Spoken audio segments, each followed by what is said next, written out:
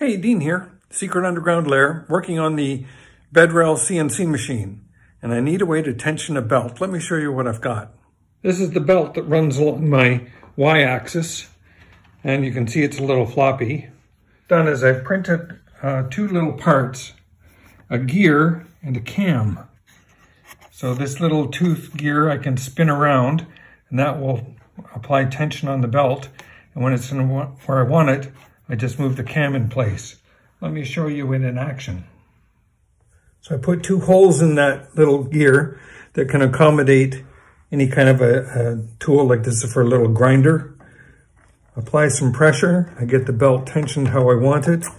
And I slip the gear into place, the cam into place. And it's tensioned. The more pressure that's applied, the tighter the teeth will slip together. They are angled so that the tension will bind them in tight to each other. How about that?